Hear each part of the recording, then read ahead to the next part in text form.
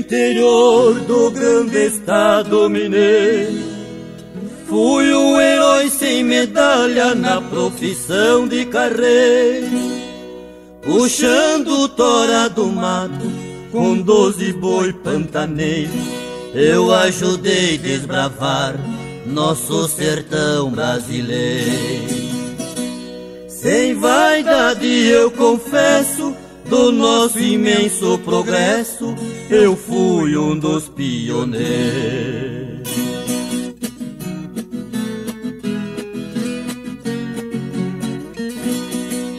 Vejam bem como o destino muda a vida de um homem.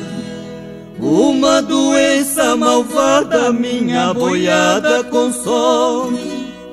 Só ficou um boi mestiço que chamava lobisomem, por ser preto igual carvão, foi que eu lhe pus esse nome. E pouco tempo depois, eu vendi aquele boi, pros filhos não passar fome.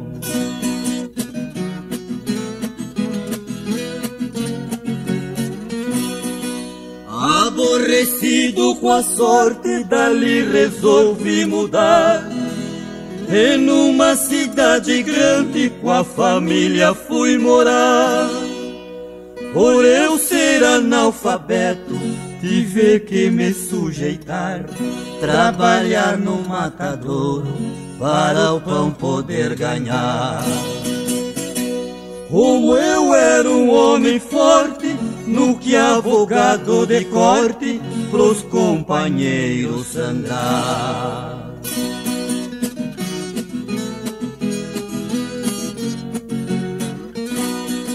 Vejam bem a nossa vida como muda de repente. Eu que às vezes chorava quando um boi ficava doente. Ali eu era obrigado matar a reis inocente, mas certo dia o destino me transformou novamente. O boi da cor de carvão, pra morrer na minha mão, estava na minha frente.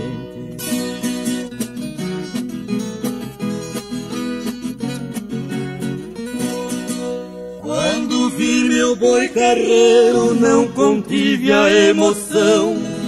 Os olhos encheram d'água, meus prantos caíram ao chão.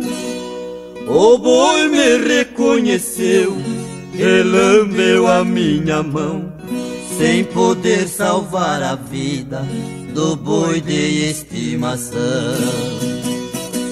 Pedi a conta e fui embora Desisti na mesma hora dessa ingrata profissão.